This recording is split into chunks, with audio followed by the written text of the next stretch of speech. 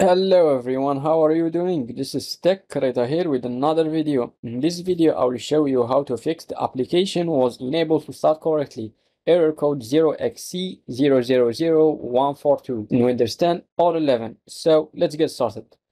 The first thing you have to do is go to the search bar and type control panel. Then open it.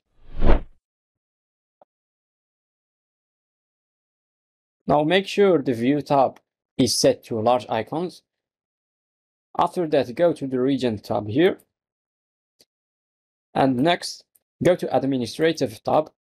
Then click on change system locale in language for non-Unicode programs.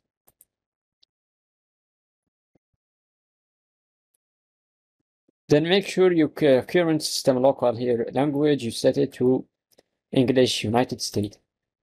Another thing you can try is click on Windows key plus R to open Run, then type CMD, then click on Control Shift Enter to open it as administrator.